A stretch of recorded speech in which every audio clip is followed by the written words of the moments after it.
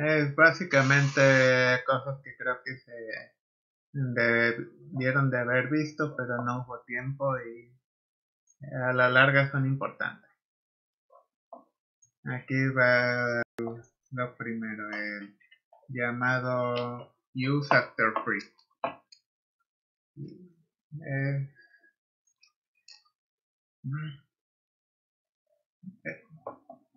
A ver, eh, les dejo en el chat la encuesta y les voy a dar dos minutos para responder. En sí no culpo a nadie por no saber bien la respuesta a esto, pero esta es la más desgraciada que no debería de pasar si viviéramos en un mundo bonito, pero el mundo en que vivimos es horrible. Entonces la respuesta correcta es que no se puede saber. Y es lo que a veces llaman comportamiento no definido o undefined behavior, que es algo que mm, cuesta bastante trabajo para depurar. Incluso profesionalmente tiene un costo muy grande encontrar bugs porque luego pasan esta clase de cosas que a veces funcionan y a veces no y no siempre se pueden reproducir todos los errores.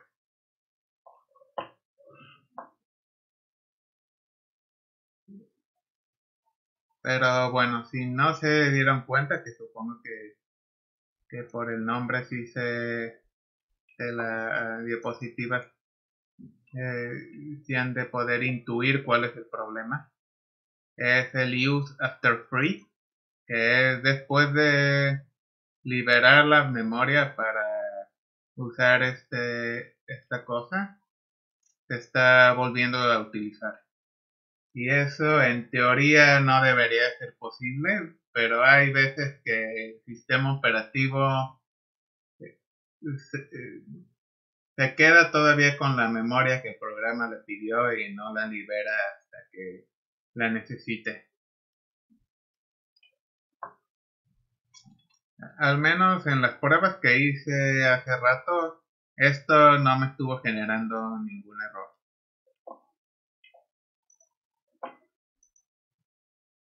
Ahora vamos a ver el double free.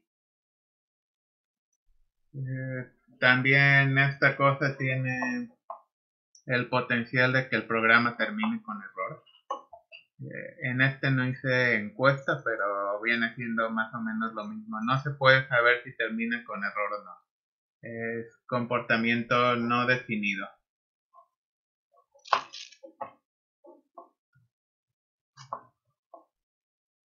Eh,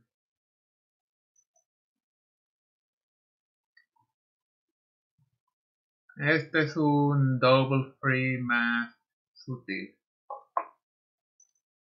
Mm, a ver si lo dejé entre los ejemplos. Creo que no. Mm, no, este. Pero bueno, aquí van a tener que creerme que este es un double free. O bueno, no necesariamente creerme. Pero mm, ahorita les explico qué es lo que está pasando aquí.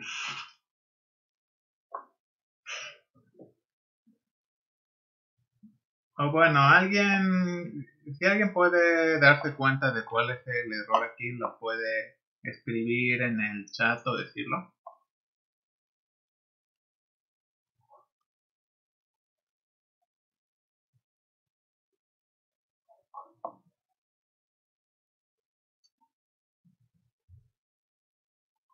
Mm.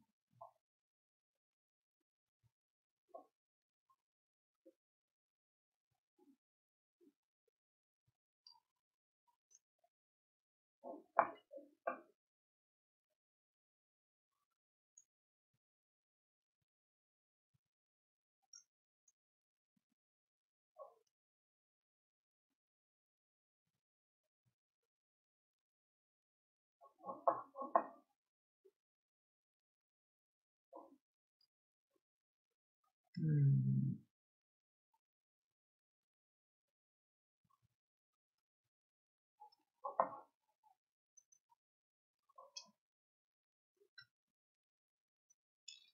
A ver, alguien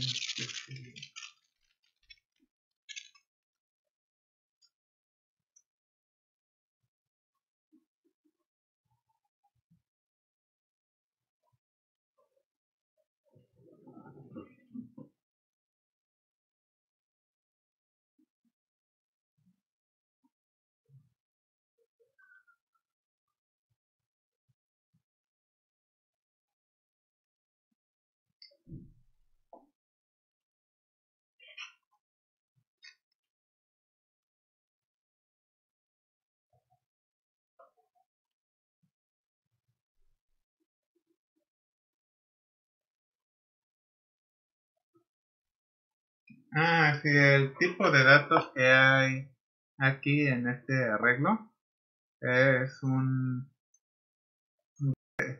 apuntador a int. Esta parte es completamente válida porque al acceder a un índice de un vector devuelve una referencia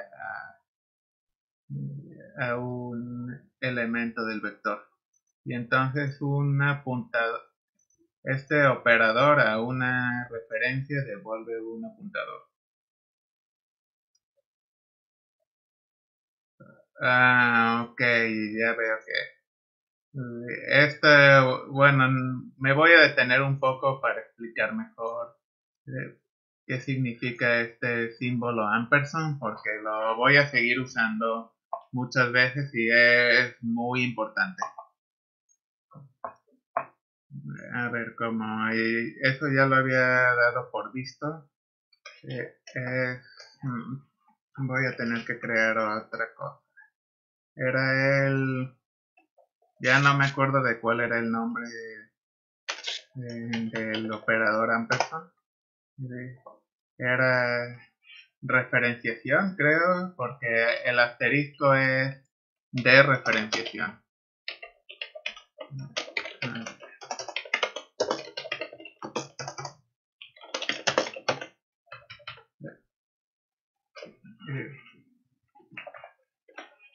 es vamos a ver eh, A vale 3 y B vale 5 por ejemplo.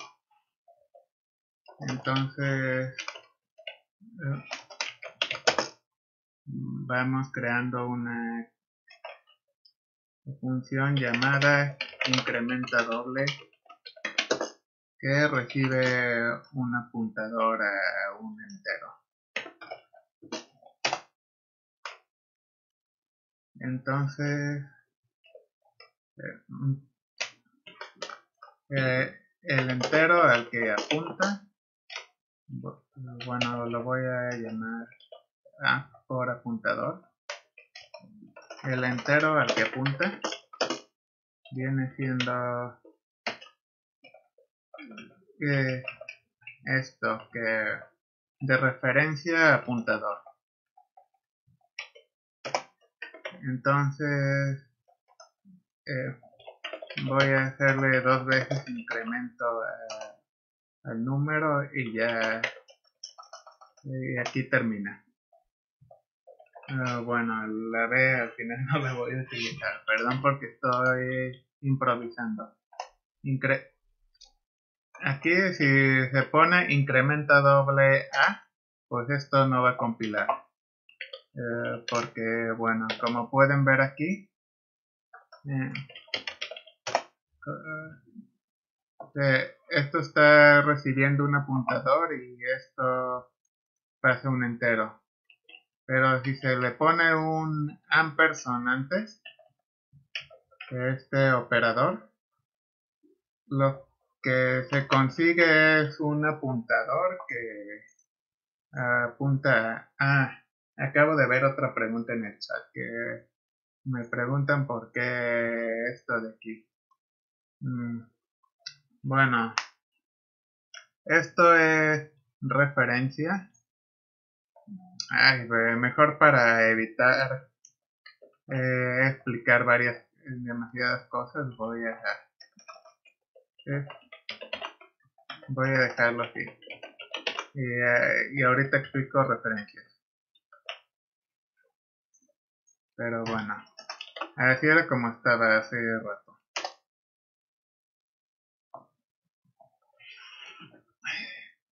Que está pidiendo que esto no compila. Porque esto es un entero y esto que pide aquí es un apuntador. Pero si le pongo ampersand aquí, esto ya es un apuntador. Es el apuntador de lo que de, lo que apunta a.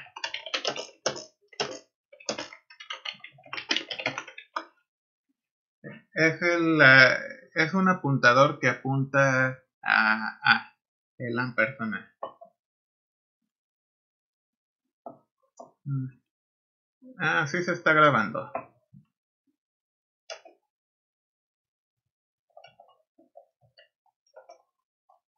Y bueno, aquí ya lo ejecuté y lo corrí. Como ven, aquí hay un 3. Eh, aquí dentro de la función recibe una apuntadora a, a eh, una apuntadora a este número. Eh, y lo incrementa dos veces.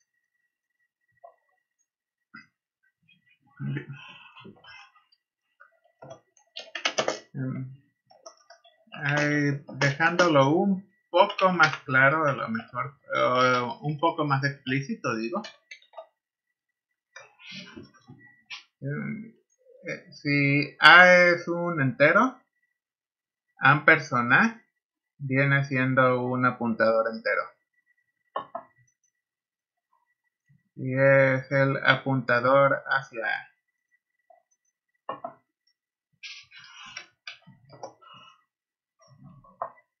Y ahora vamos con las referencias.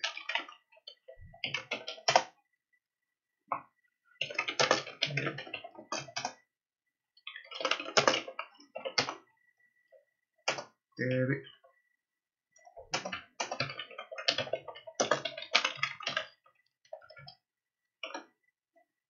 viene siendo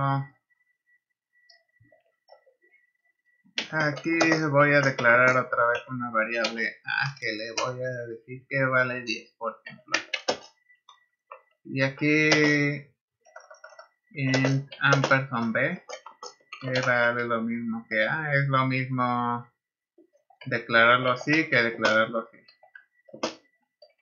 Eh, pero el tipo viene siendo esto, int ampersand. Eh, que significa referencia. O sea, int ampersand es referencia. Eh, int asterisco es apuntador. Y vamos viendo cuál viene siendo la diferencia entre eh,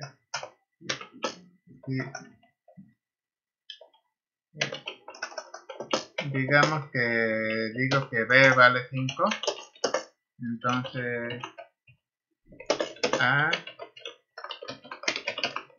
esta cosa de aquí va a valer eh, esto va a imprimir 5 también. Ah, bueno para que no estoy viendo que estoy repitiendo los números en todos los ejemplos. De hecho ahorita compilé el ejemplo anterior mejor ya lo cambio a 7 a pesar de que A no es un apuntador y nunca uso una, un apuntador al modificar B que es una referencia eh, también se modificó el valor de A. O sea en este a partir de aquí B es exactamente lo mismo que A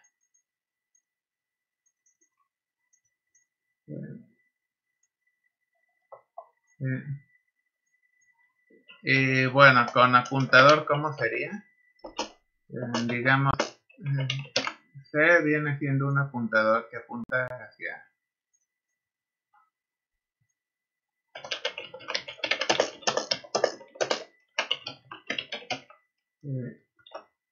eh, bueno, mm, a ver si me están siguiendo. ¿Qué creen que imprima eh, que, imprima esta línea de aquí? Y bueno, también a ver qué tanto se acuerdan del anterior.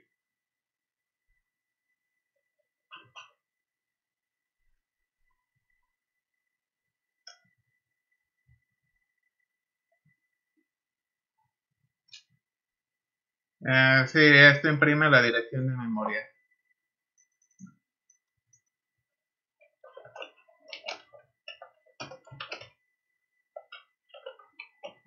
Bueno, antes de poner esta otra línea, vamos a, a ver lo que imprime.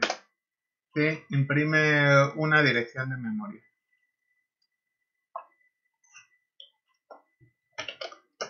Y ahora, si lo pongo así, ¿qué creen que imprime esto?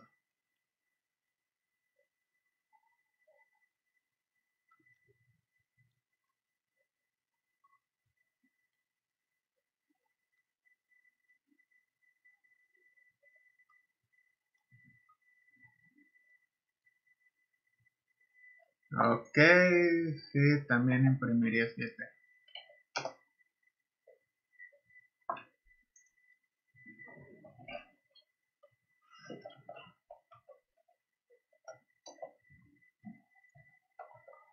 Eh, y bueno, esto también es importante.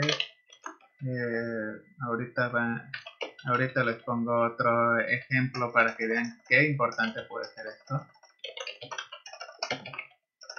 Vector.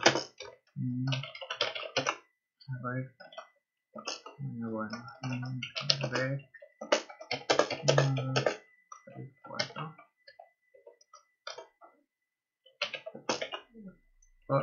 por, ejemplo, eh, si esto, mm,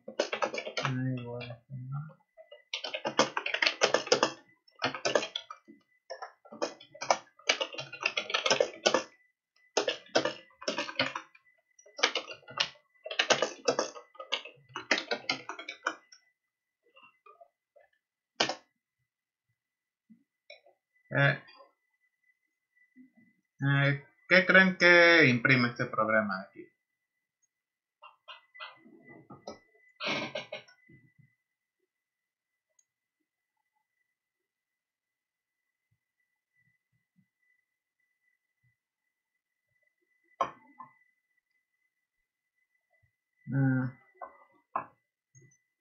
Ah, aquí hay un pequeño y nada, imprime 1, 2, 3, 4, no imprime 0. El problema fue que falta un ampersand aquí para que imprima 0. Porque al, hacer, al ponerlo así se copia el valor del vector. Pero al poner el ampersand aquí, eh, se, eh, se crean referencias.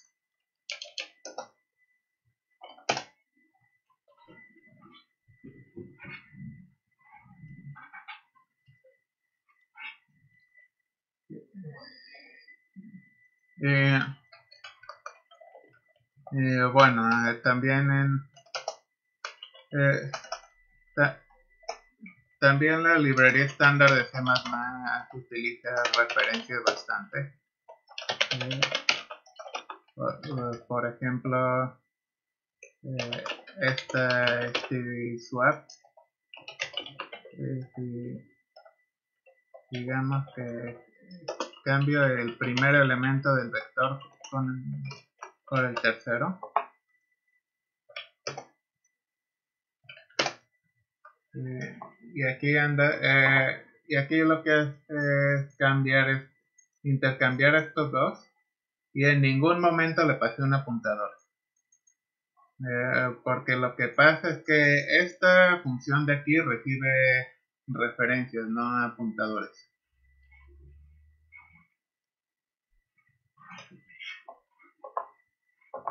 Ok, bueno, ya vamos a... Eh, ya vamos a seguir con el double free.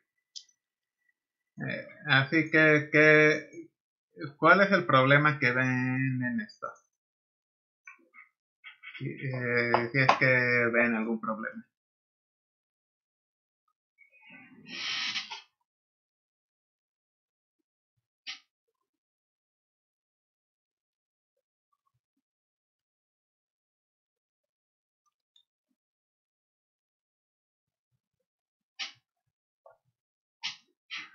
Ah, por cierto, ahí les, debería de compartir esto, esta presentación en el, en mm, Está como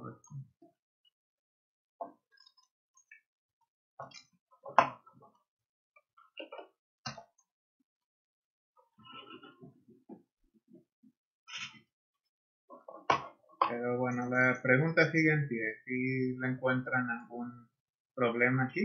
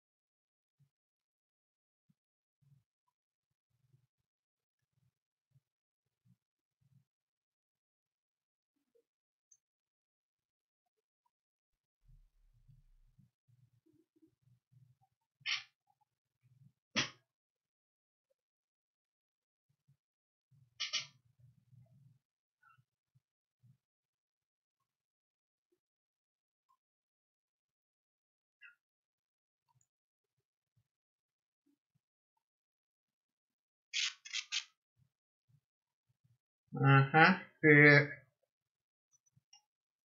Sí, realmente se, se está borrando una dirección de memoria que aparte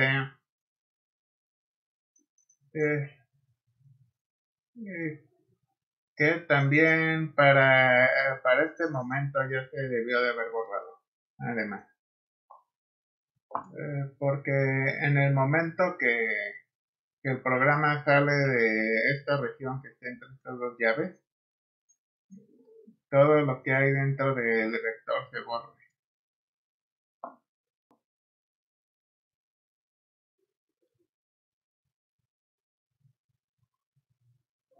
En sí, eh, eh, en sí creo que esto es un mejor ejemplo de dangling, o sea, de usar un apuntador algo que ya no existe. Mm, porque, bueno, incluso si se hiciera algo así como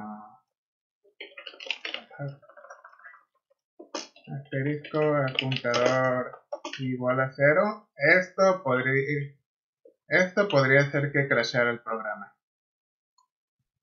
Eh, pero al igual que al igual que en este otro use after free eh, no es está asegurado que puede pasar y que no. Podría crashar pero no seguro que crashee. Pero bueno como está en diapositiva de double free lo voy a dejar como un delete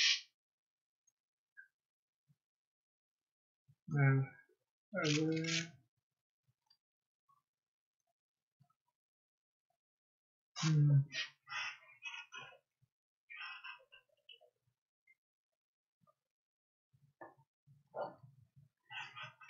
Hay también otro otro posible problema ¿eh? aquí es el llamado out of bounds y y a ver, ¿cuántas líneas creen que imprima un programa como este?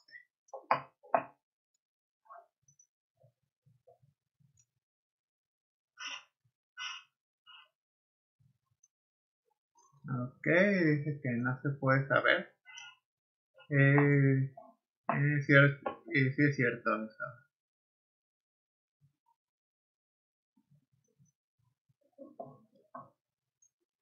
Eh, pero aquí también lo programé ahí como referencia para que lo vienen correcto.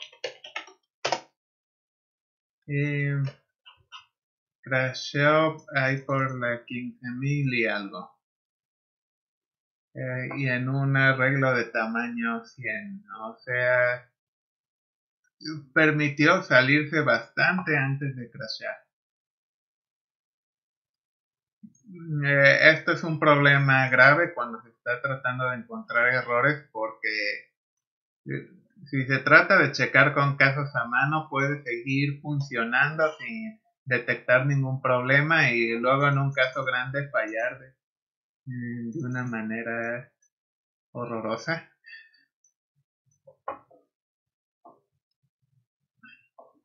Y, y aquí está algunas estrategias para lidiar con el, Eurofund.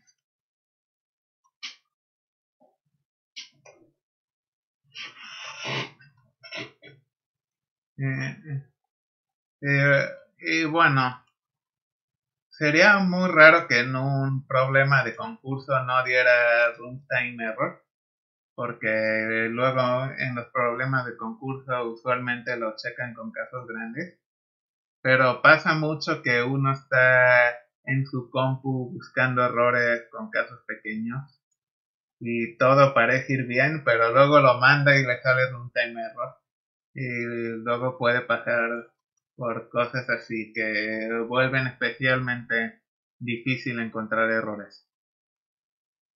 Una forma es, es que en lugar de tener una variable para especificar el tamaño de un arreglo, se puede usar vector y punto size para mantener ambas cosas juntas.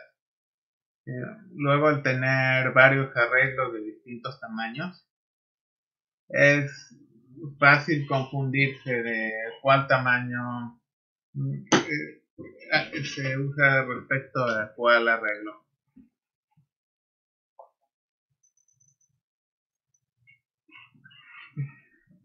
También recuerdo varios casos de olímpicos que les fallaron sus códigos por eh, estar usando arreglos más pequeños para debuguear y luego mandarlos y que se les olvide cambiar el tamaño de los arreglos. Ahorita ya no pasan esas cosas porque ahora todo se evalúa en tiempo real, pero antes era un problema espantoso cuando pasaba.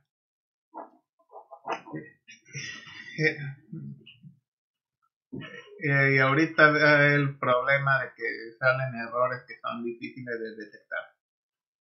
Eh, si se tiene el vector y el tamaño juntos, eh, ya es mucho más difícil equivocarse.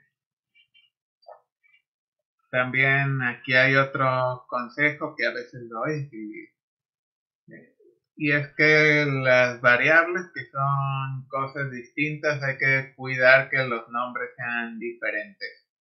no hay que tener nombres con significados muy parecidos o que se lean muy parecidos porque luego se presta mucho a confundirse. Por ejemplo, no hay que usar eh, I y J como índices de matriz, mejor hay, que saltarse la J y pasar directo a la K. La y la J se confunden mucho. Eh, si dos vectores van a tener el mismo tamaño y la implementación va a asumir que tienen el mismo tamaño, puede ser mejor tener un solo vector con una estructura que esos dos vectores. Igual esto no es una regla de oro que siempre deben de seguir, eh, pero si la pueden seguir, eh, esto les puede salvar de cometer errores en algún momento. Y bueno, está el método función miembro add en lugar del operador cochete. Ahorita les muestro lo que significa en este en este out of bounds.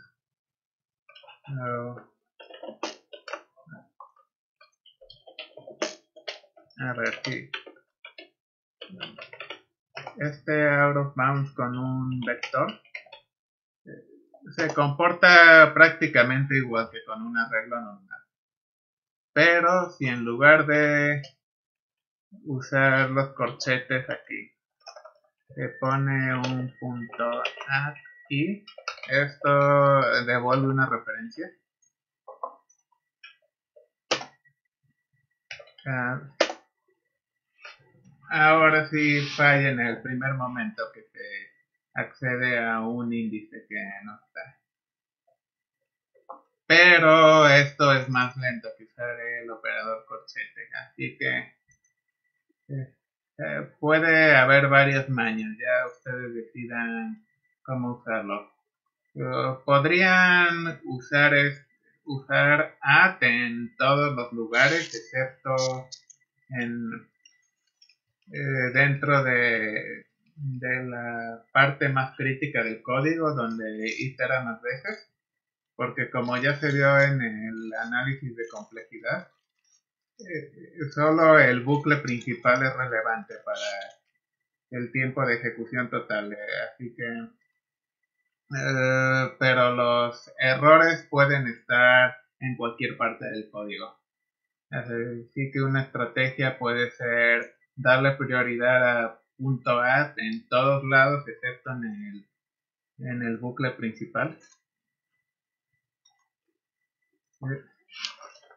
Y aquí hay otra alternativa que pueden usar. Es definir esta eh, constante de esta arriba. El problema aquí es que se la van a tener que memorizar si, eh, si realmente se quieren ir por este camino. Y yo la verdad no me la sé de memoria.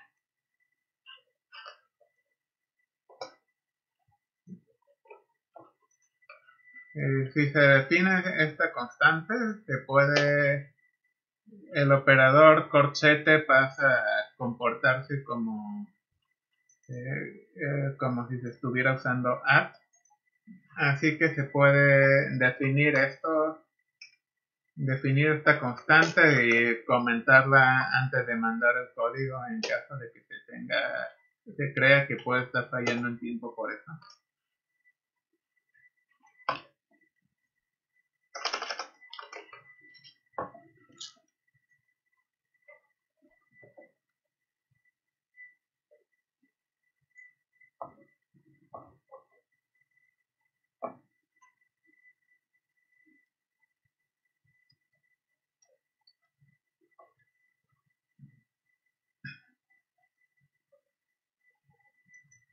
Eh, bueno, ya voy. Ah, iba a pasar a la siguiente, pero mejor.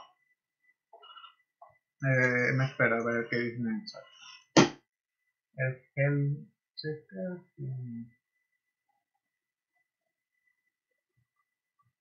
Ah, ok, sí. El XX de bug checa otros errores también. En general eh, estaba buscando uno específicamente para esto de out of bounds.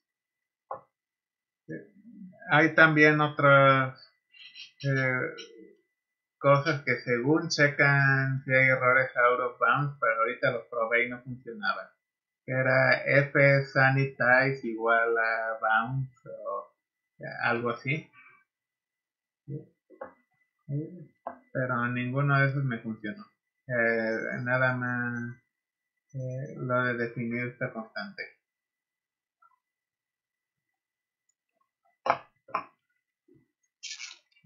A ver qué están diciendo en el chat.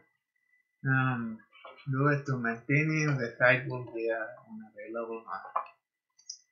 Okay. eh, ya luego veremos que ya no resulta, pero, pero por el momento pasar a lo siguiente. Aquí pushback y apuntadores. aquí hay otra encuesta que si tuve tiempo de hacer. Les doy otra vez dos minutos para que respondan, porque es una pregunta sencilla. Igual si no se la saben, no importa, solo eh, quiero saber cómo andan. Voy a seguir.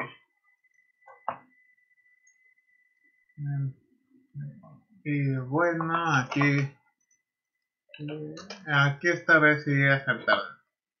Ah, bueno, no todos, pero al menos donde hay la mayoría de votos. Que imprime algo. Ah, ah, no, me equivoco. De hecho, ay, perdón, pensé, leí mal, pensé que habían contestado esto. Imprime algo que no se sabe si es 0 o 1 y después y después no se sabe si termina con con error o no. A ver. Se me, se me olvidó cerrar esta cosa.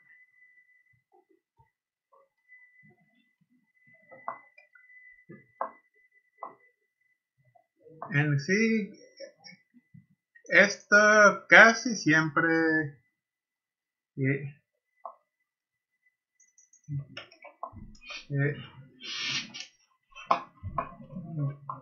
casi siempre esto va a imprimir cero, pero en teoría podría imprimir uno alguna vez. Eh, lo que pasa es que el arreglo cuando crece necesita eh, seguir, necesita liberar la memoria que yo estaba usando y pedir oh, bloques distintos de memoria. este mismo código lo puse por aquí, dejen, um, busco cuál, con iteradores,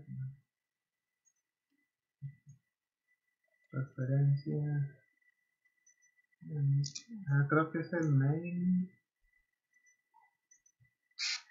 Mm.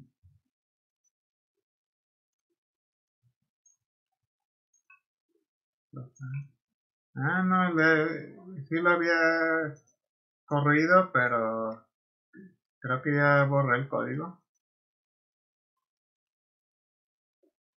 Mm. Ay, qué mal, era ilustrativo verlo correr. Ah, bueno, lo puedo copiar y pegar. No importa.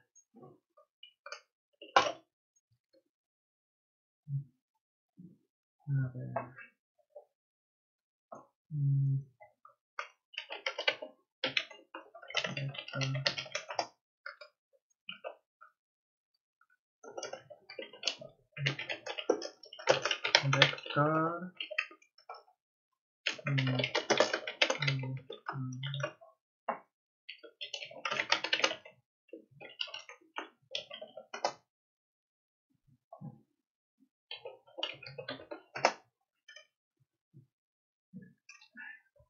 Aquí eh, imprimió 0, luego 20 y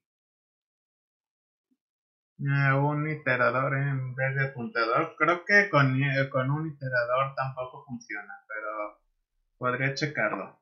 No estoy muy seguro. a ver. Este.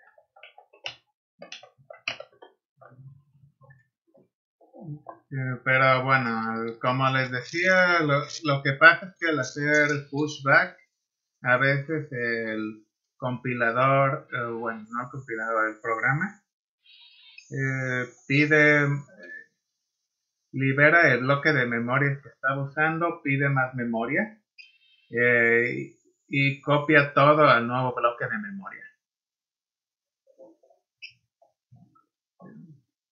Entonces va, eh, vamos a ver un iterador. Auto y arreglo punto. En el rato vamos a ver lo que es un iterador, pero lo digo para contestar la pregunta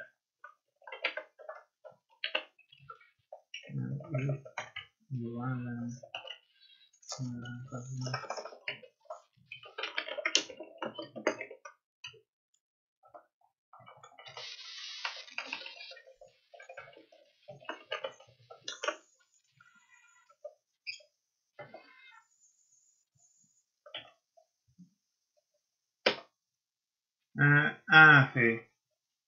Esto. Bueno. Ok, con iterador tampoco funciona. Igual en el momento que pide más memoria. Ay, no sé si se desconectó porque acá de repente no veo los archivos.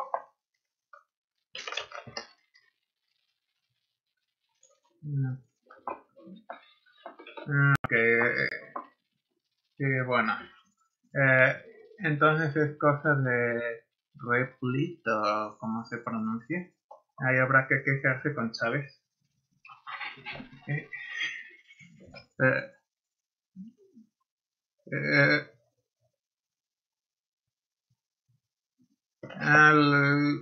prefiero estarlos haciendo aquí para no tener que estar cambiando de ventana es más práctico. La otra vez que tuve que estar cambiando de ventana, entre tantas cosas, algo pasó que eh, acabó sin que acabó sin grabarse como la mitad de la clase. Eh, ok. Eh, bueno, lo voy a dejar como apuntador.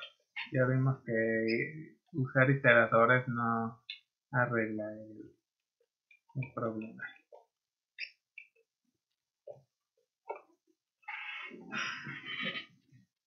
El, el detalle, como les decía, es que el pushback a veces borra, eh, pide más memoria, borra todo, copia todo y luego borra lo anterior. Eh, así que que después de que crece mucho el vector, el apuntador que se tenía al inicio ya deja de ser válido. al menos no es el mismo apuntador que hay al final. Aquí no crashó, pero se puede ver que no es el mismo. Eh, pero sí puede haber ocasiones en las que crashé. Es otra vez comportamiento no definido.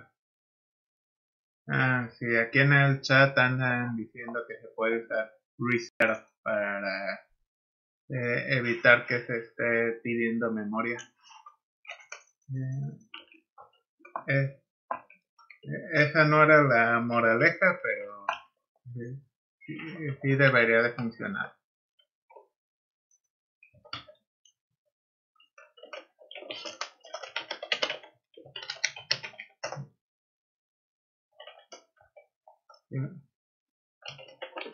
A. Y ya, si, eh, si se usa reserve ya el apuntador eh, sigue siendo el mismo porque reserve lo que le dice al programa es que reserve suficiente memoria para 10.000 elementos.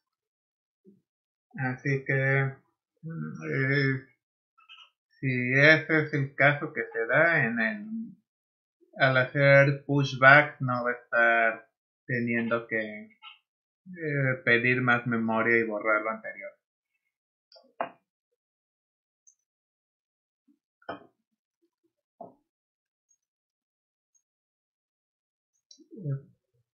Pero, ok, el problema que se dio aquí es un caso particular de dangling que viene siendo uno de los motivos por los que muchos odian a C++.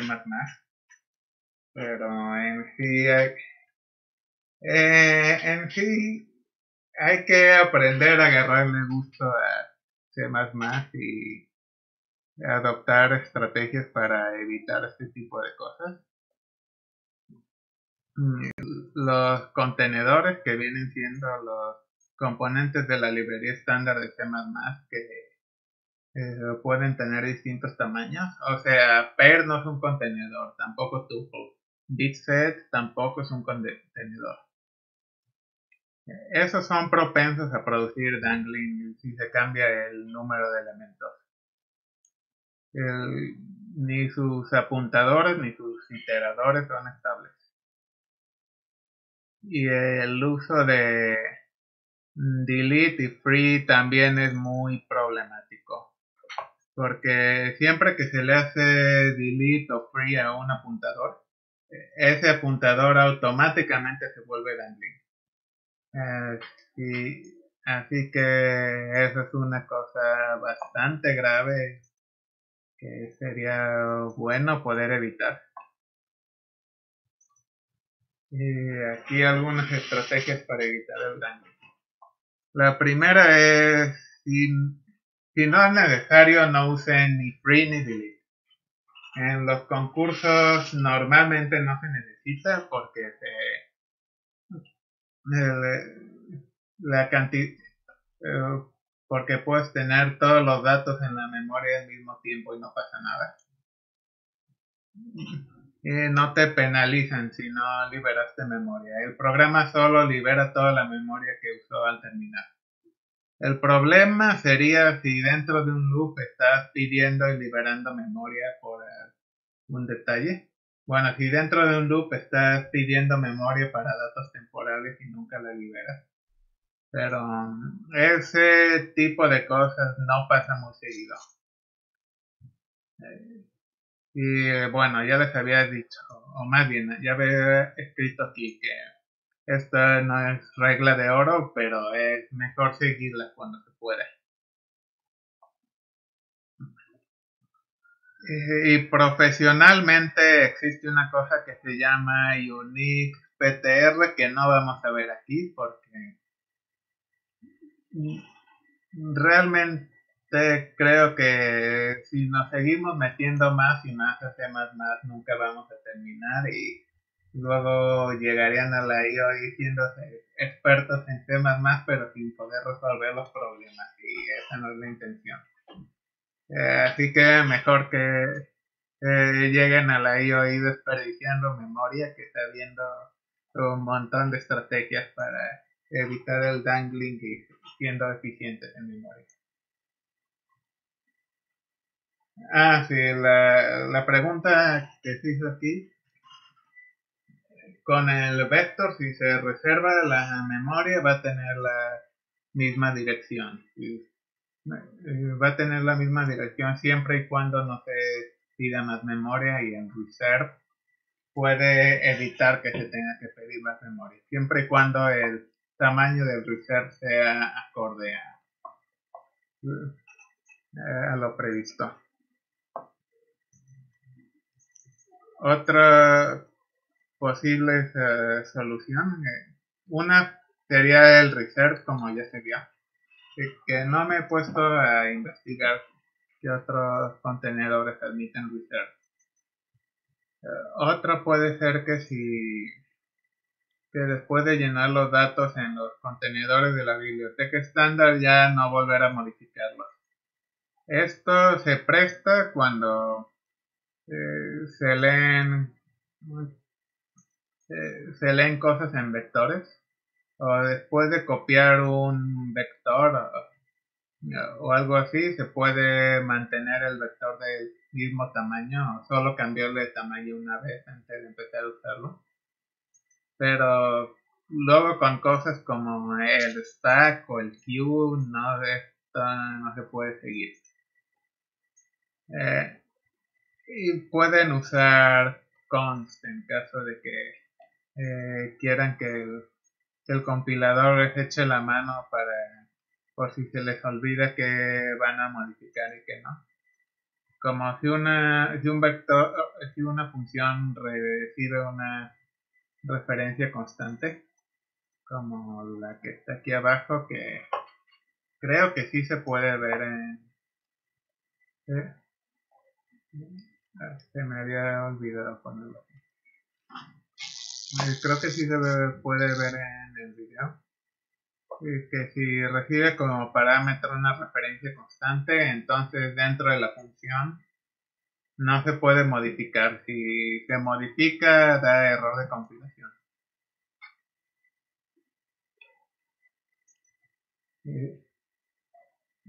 A ver, esta es otra cosa de el constructor y el destructor. esto no estaba seguro si ponerlo, pero al final me decidí por si, ponerlo porque eh, con el new y el delete, si van a usar new y delete, eh, creo que conviene mucho tener en cuenta que los tipos que usa la biblioteca estándar de C++ andan haciendo cosas por detrás. Cada que se hace un new o que se hace un delete, también hace más cosas. Eh,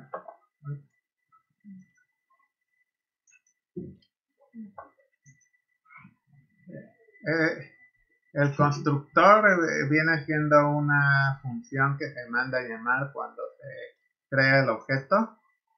y el destructor es una función que se manda a llamar cuando se borra de memoria, cuando, cuando se le pide un delete.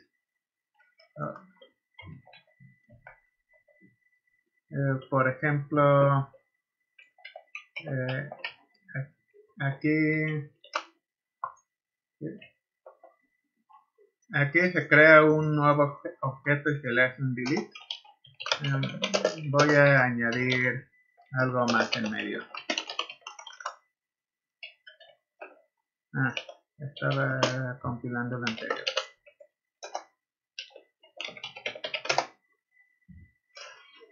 Se crea el objeto y se manda a llamar el constructor. Eh, se hace algo y se manda a llamar el destructor. Si se borra todo, pues ya no se manda a llamar nada.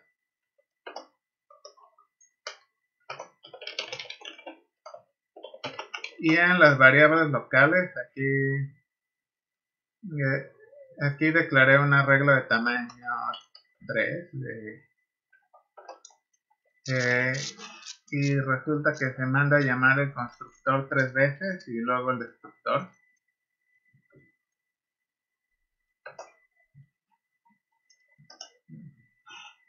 Um, otras cosas que se pueden otras cosas curiosas que se pueden hacer aquí es un vector de objeto de objeto.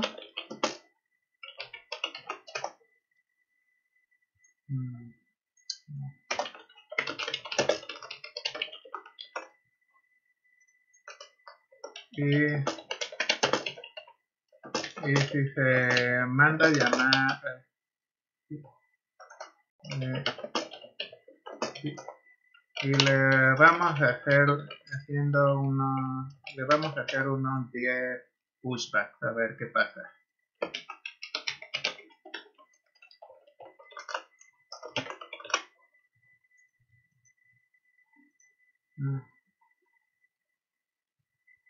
Ah, ¿Cómo que? Hmm. No member name pushback. Did you mean pushback? Ah, push. Pushback. Había puesto una P.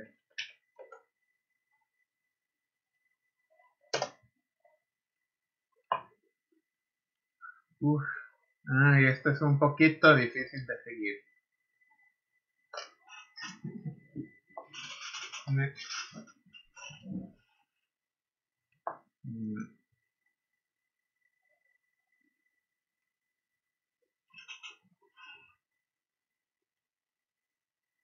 Pero uh, bueno, eh, como pueden ver, se, están mandando llamar constructores y destructores en, en un patrón no muy fácil de, de ver cuál es.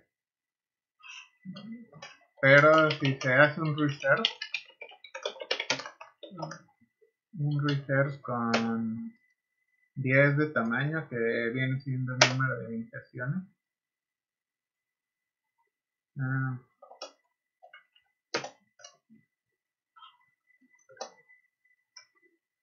Aquí, bueno, me esperaba algo un poquito diferente, pero aquí hay un patrón que es constructor, destructor, constructor, destructor. Mm.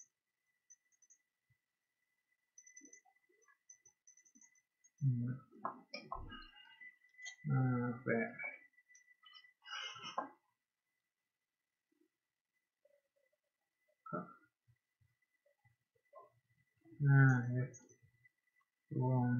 mm.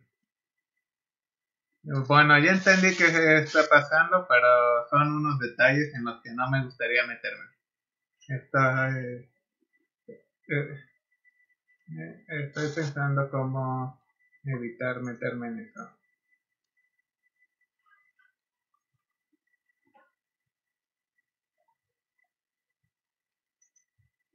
Ah, bueno. El pushback hace cosas raras, recuerden.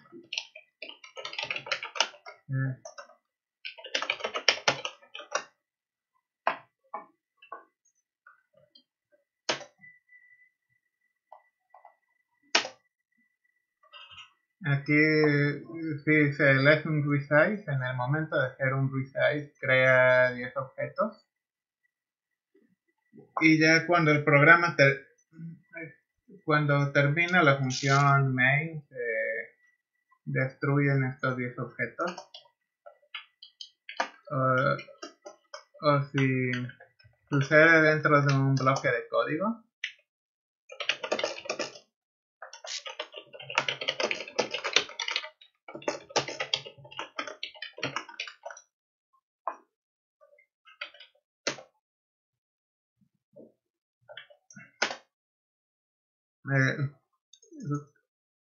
Se destruyen los objetos antes de llegar a esto que hay aquí.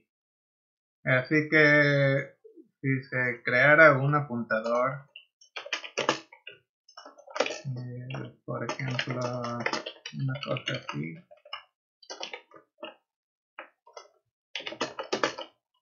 Mm.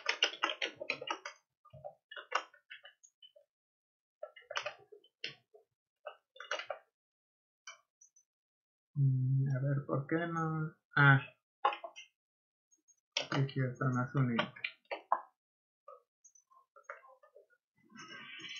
Si se creara una apuntadora, eh, algo que está dentro del vector,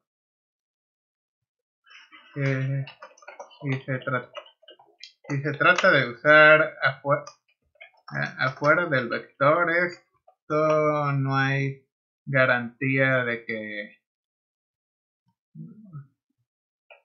esto no, eh, no hay garantía, garantía de que no vais a hacer el programa crashear porque eh, en el momento que esto se manda a llamar todos los elementos del vector ya se van a ver destruidos.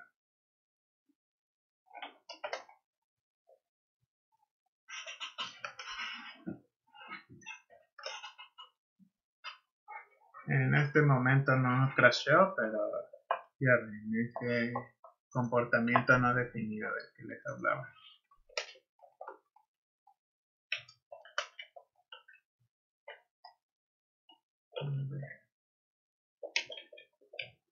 Lo voy a dejar como estaba al principio.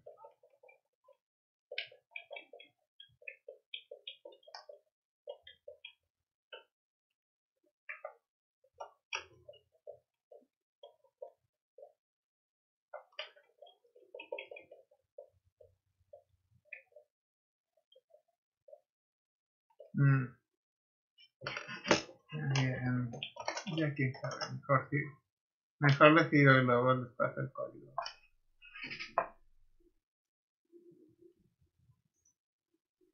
Pero bueno, ¿tienen alguna duda con esto del constructor y destructor? En programación competitiva no creo que vayan a necesitar definirlos, nada más eh, se los digo para que sepan que C++ a veces los usa.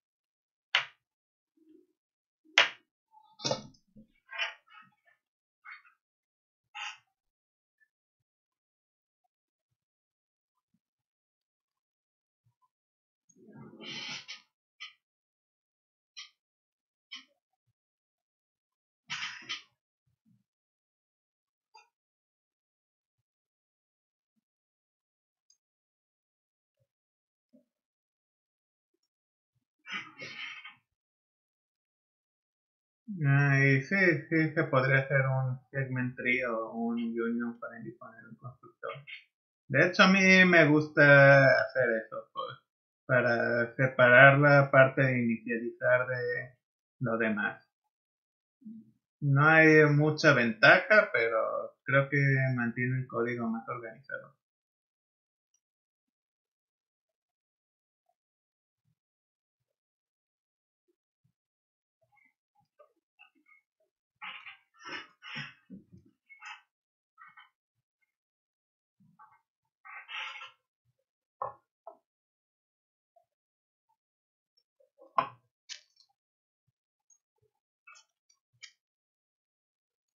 Eh, eh, bueno, aquí, eh, aquí hay un, un pequeño detalle, no sé si se acordarán de la última vez de un, del punto de la discordia, que, bueno,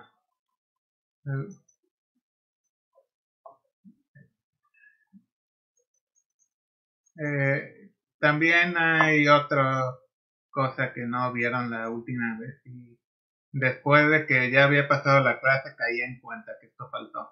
El delete corchete. Eh, aquí supongo que no ven ningún problema, ¿verdad? ¿O alguien sí ve un problema?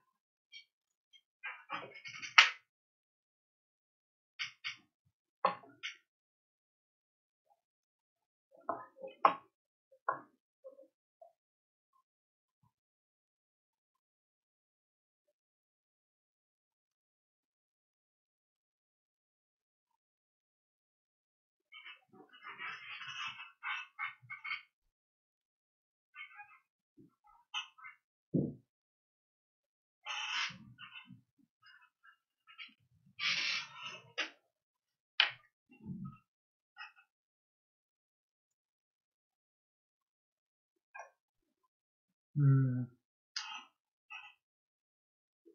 Bueno, asumo que no ven ningún problema, así que creo que era aquí.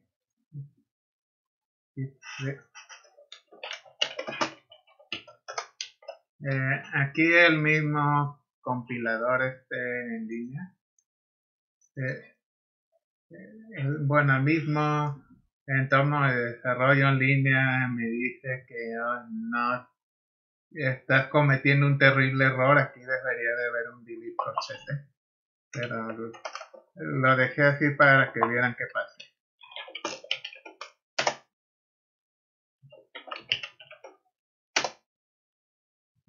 Y esta cosa crashea. Y el problema el problema con esto es que el,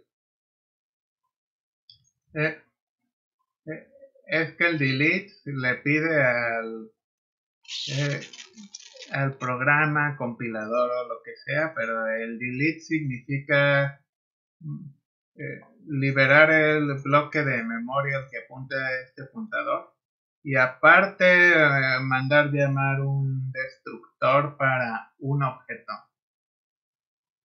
eh, eh, y para un objeto correspondiente a ese bloque de código. Eh, pero si, si son varios objetos como aquí es, este es el caso, el delete corchete manda llamar manda llamar primero los destructores para todos los objetos. Y luego eh, y luego libera la memoria. Y ya este no crashea y si borra eh, todos los objetos que hay aquí que son los 100 millones de objetos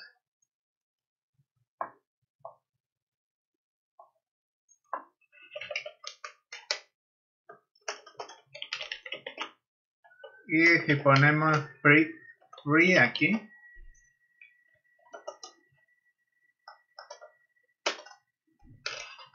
también crashea.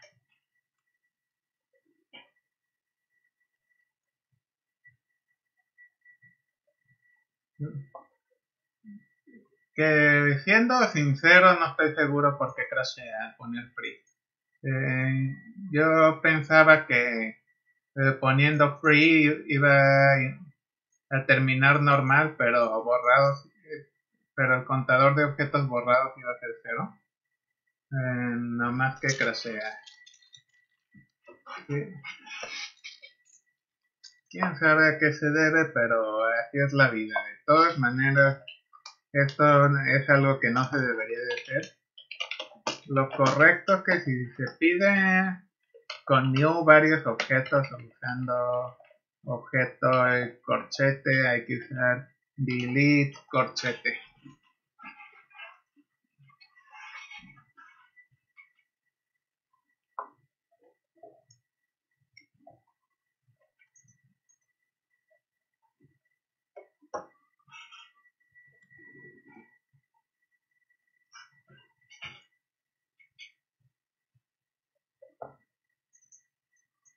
Eh, aunque realmente eh, aunque realmente les recomendaría que si van a usar new para algo fuera para crear un solo objeto. Si quieren hacer una cosa como esta sería mejor que usaran un vector en lugar de andar usando new clase con cierto número de objetos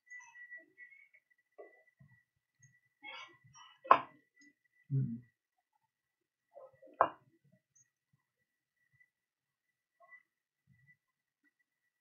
a ver ahora otro otro ejercicio de qué creen que pase.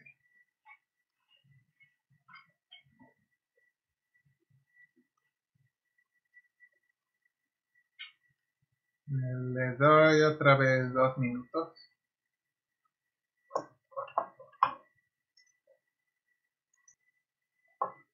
Ok, bueno. Ahorita... Ahorita voy a cerrar esta eh, encuesta. Eh,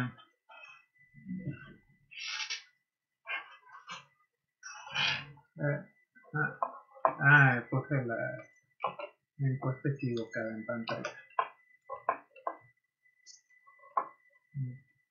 A ver, esta... Ya lo cerré.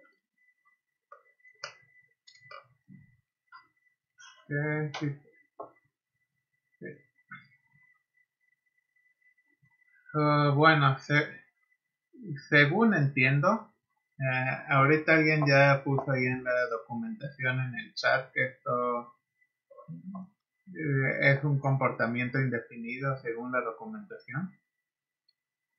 Mm.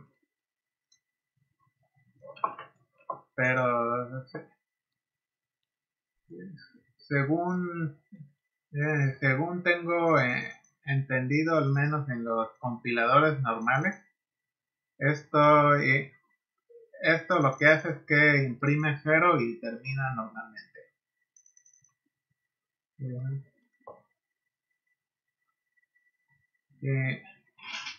Ay, no, esto fue, es un free intencional. Eh, eh, el detalle con este free es que este free lo que hace es liberar un bloque de memoria, pero no manda llamadas a los destructores.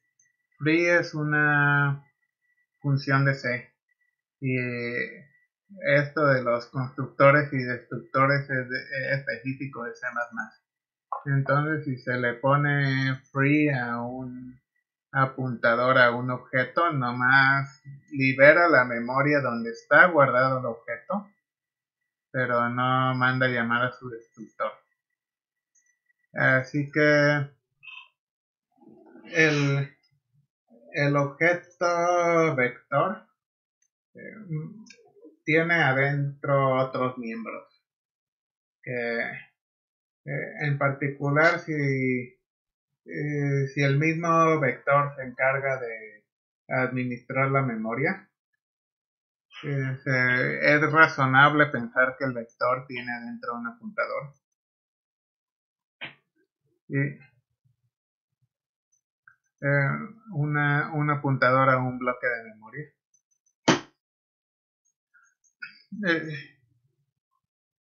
Pero si se manda a llamar free apuntador, eh, lo que se está borrando viene siendo solo los campos del vector, no el lugar hacia donde, hacia donde apunta. Así que va a liberar el vector y va, eh, va, va a liberar el, el vector o la memoria usada por el vector, pero no por los objetos que contiene el vector adentro. Um, vector free, creo que aquí está. Eh, por cierto, esto es algo que nunca deberían de hacer, pero lo estoy haciendo nada más para que vean la clase de desastre que puede ocasionar.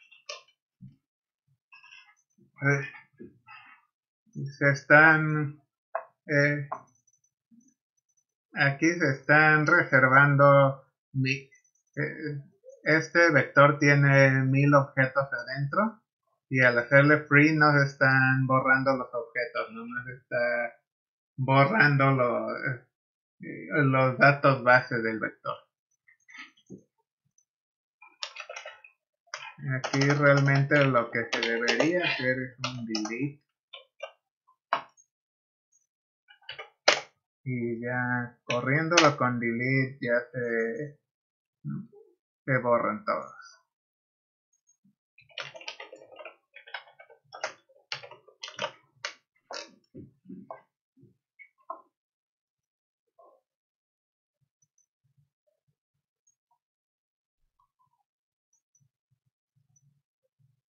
Okay. Eh.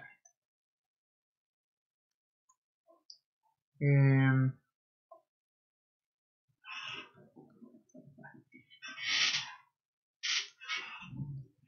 así que esa es otra razón para mejor no usar eh, mejor no estar usando free o delete si no se requiere usar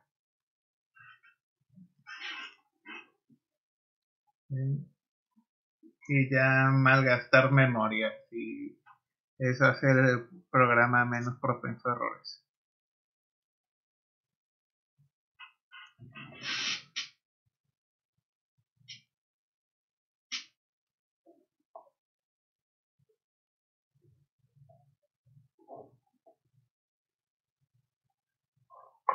Ah, aquí me pregunta si se puede evitar malo por completo. Yo diría que sí.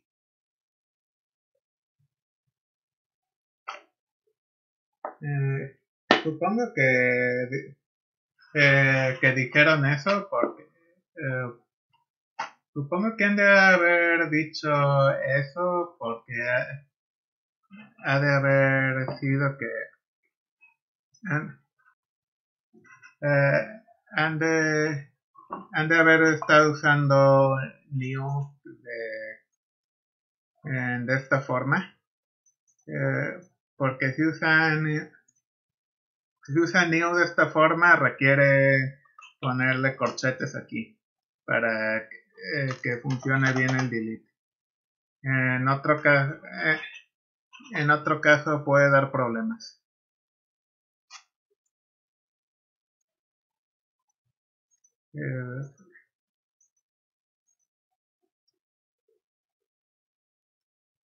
a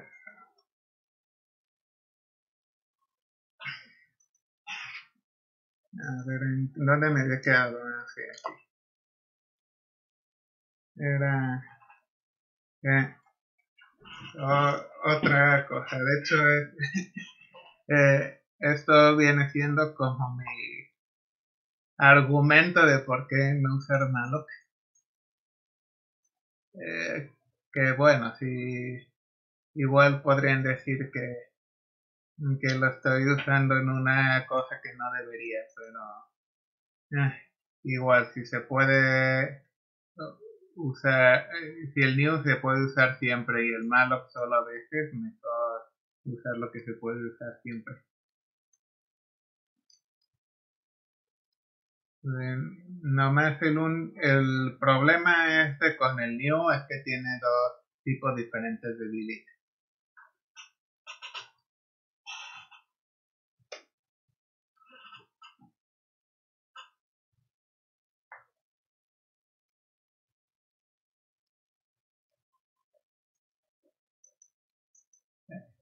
Aquí, ¿qué es lo que creen que pase? No tengo ningún... No alcancé a hacer una encuesta para esto, pero... ¿Qué, ¿Qué se les ocurre que puede pasar?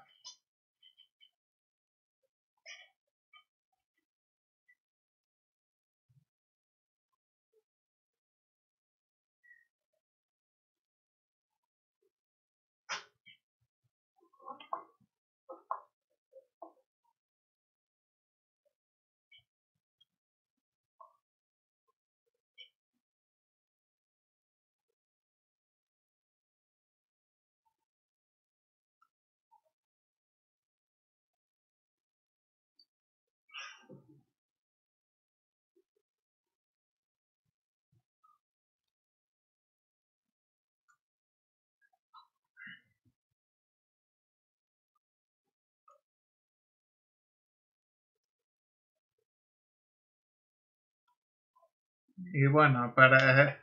Creo que esto de acá no es muy relevante. Estas dos líneas las voy a borrar. Eh, no son parte del punto que quiero ilustrar aquí.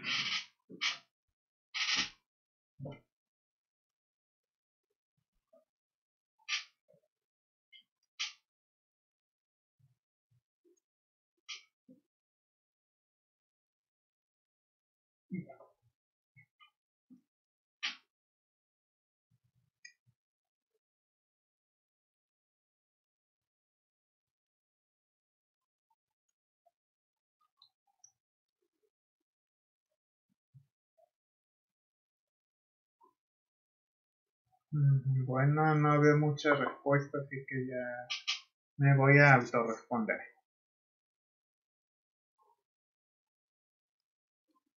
Estaba malloc vector, se llama vector, pero realmente al final acabé usando una queue porque con vector no fallaba.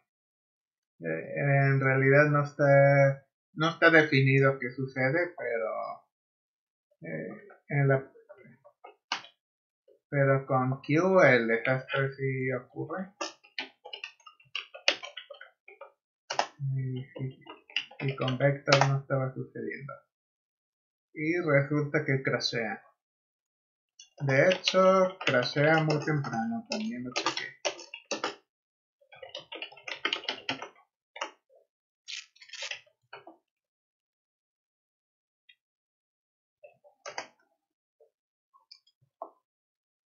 Y aquí, bueno, ¿cómo es que crashea si no hay ningún delete?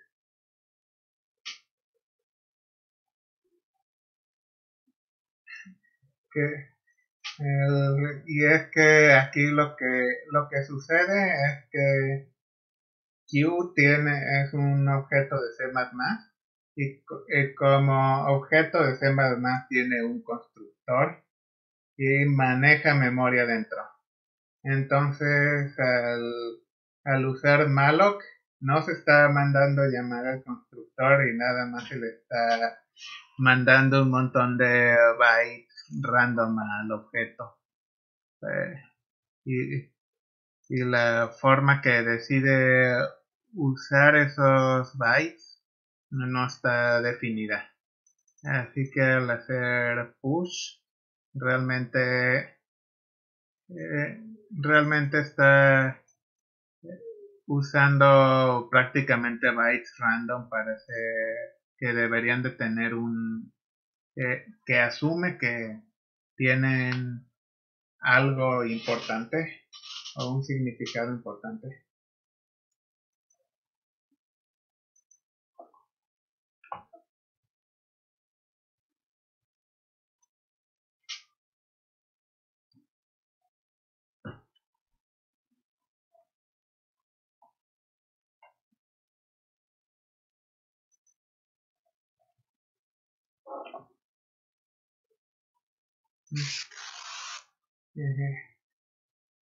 Y bueno, ya, ya terminé la, la mayor parte de la clase que era prácticamente estarles diciendo qué cosas no hacer. y ahora va algo de algunos detalles de C++ que sería que resultan útiles.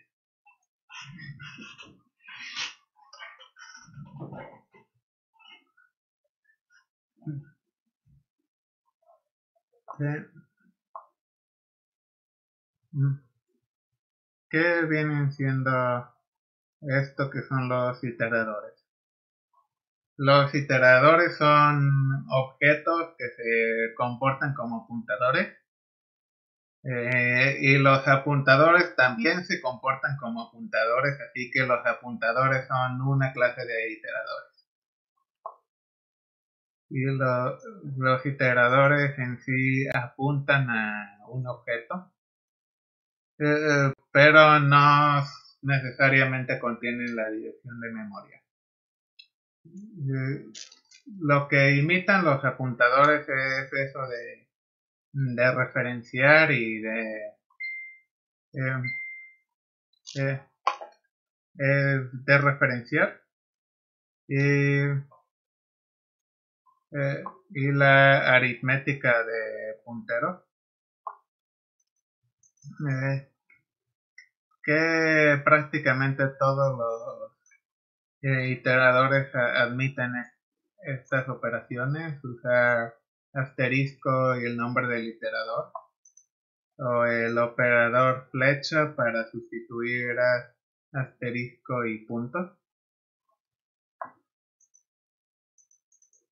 comparar con igual y con diferente y avanzar a la siguiente posición.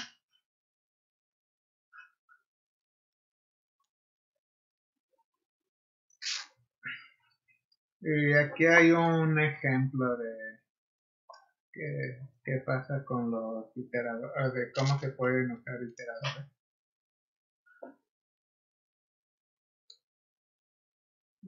Cuando se le pone punto begin a un vector o a una cube o lo que sea, eh, realmente lo que está regresando es un iterador.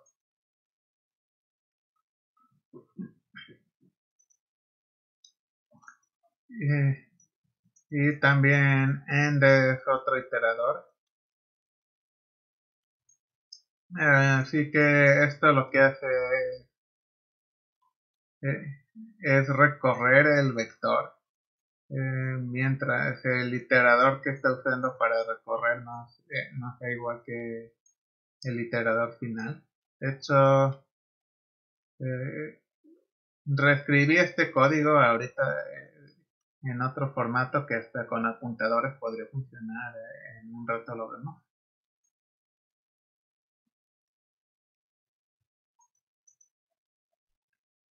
A ver. Iteradores.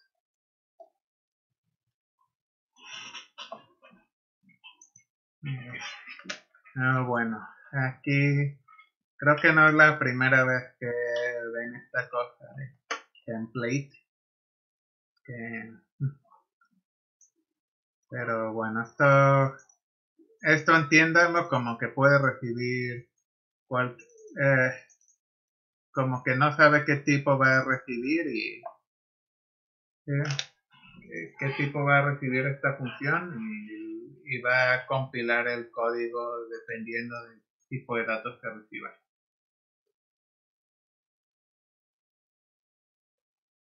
Ah, a ver, eh, vi una pregunta en el chat ahorita, un segundo punto. a este segundo punto, eh, que si no es prácticamente sintaxis, eh, pues hay un, en C++ está definido el operador flecha y, se pueden escribir clases que funcionen con un operador flecha personalizado.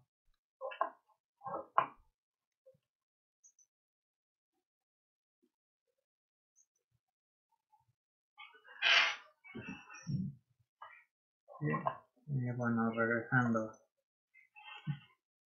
Eh,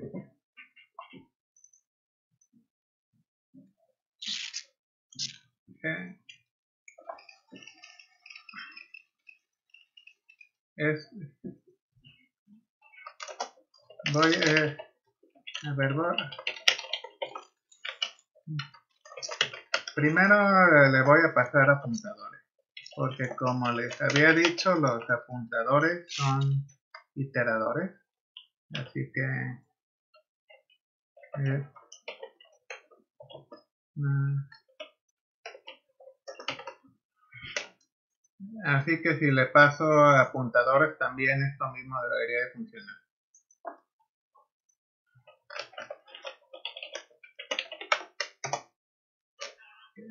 que viene eh, que lo que viene siendo es imprimir las posiciones pares, o sea, 0, 2 y 4. Y sí, funcionó. Primero eh, le pasé apuntadores normales o apuntadores de C. Eh, y prácticamente hace aritmética de punteros que viene siendo de referenciar y, e incrementar y comparar con el apuntador que va hacia el final. En iterador le pasé el vector punto begin y el vector punto end y funcionan exactamente igual que los apuntadores. Pueden de referenciar, incrementar y comparar y no pasa nada. Eh, y aquí está y aquí este el, motivo por el que existen los iteradores en lugar de que todo funcionara con apuntadores y ya. Que luego pueden tener comportamientos un poquito diferentes, aunque la abstracción sea la misma.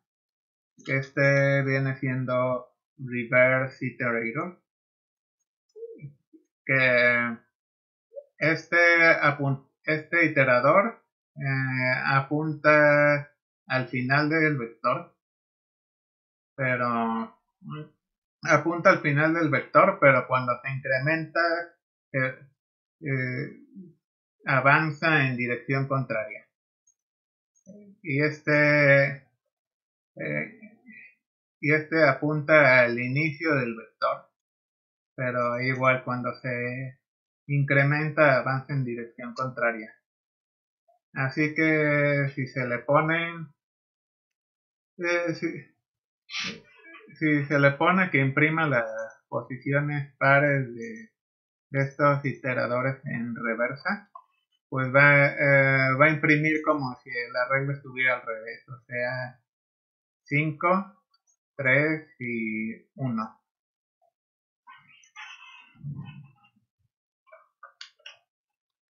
Eh, de hecho, fíjense otra cosa que se puede hacer aquí.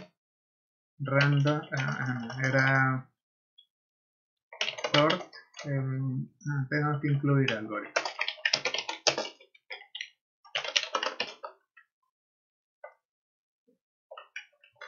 Oh, bueno, primero random shuffle estos eh, eh, los ordena de manera random.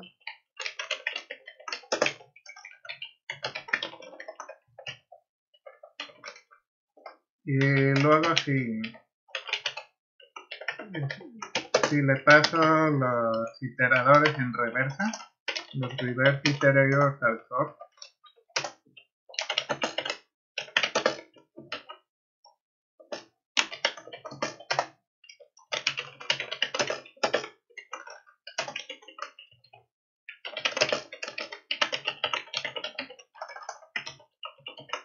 Mm. Aquí, eh, para no tardarme mucho, le suelto la sopa de una vez y es que lo va, lo va a poner en orden ascendente. Digo, digo descendente. Eh, al revés de como eh, los ordena normalmente.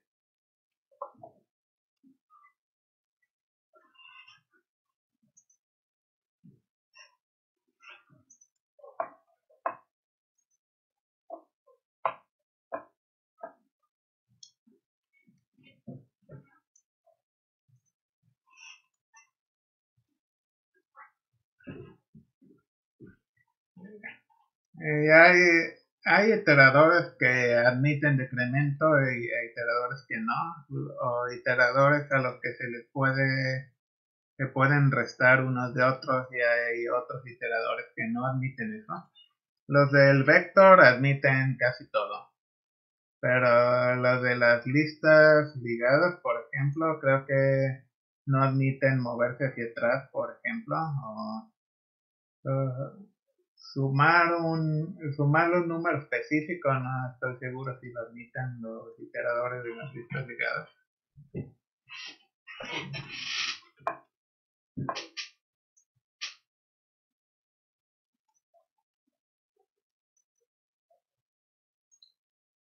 pero aquí puse algunas cosas de la biblioteca estándar de temas más que usan iteradores que como ya vieron el sort y el reverse usan iteradores.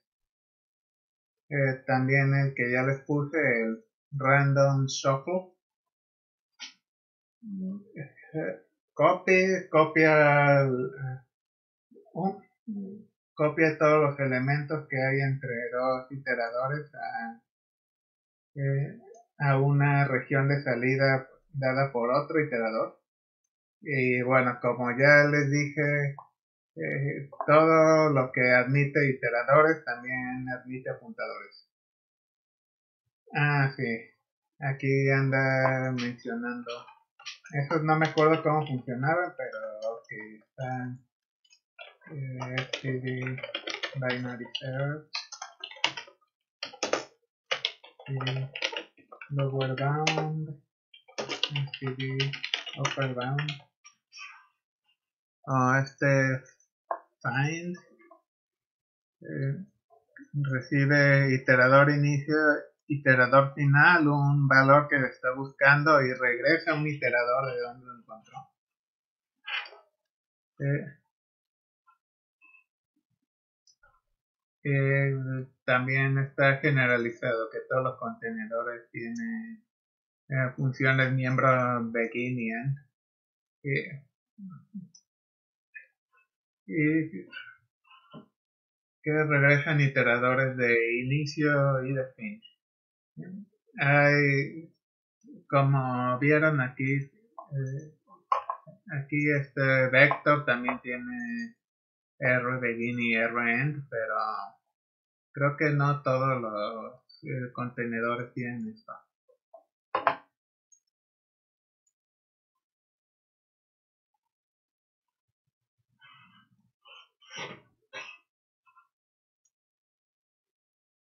A ver qué dice en el chat.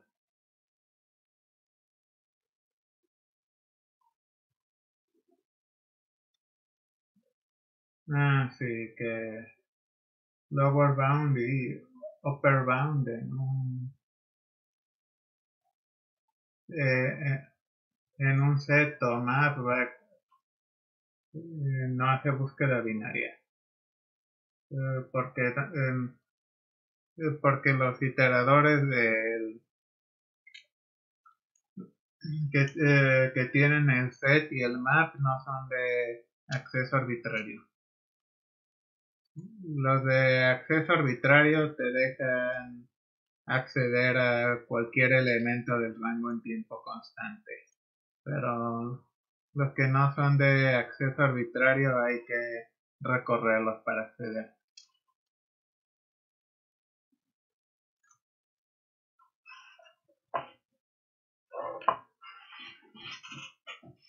Ah, por cierto, eso que dije acceso arbitrario es random access, que luego lo traducen como acceso aleatorio, pero esa traducción no tiene sentido.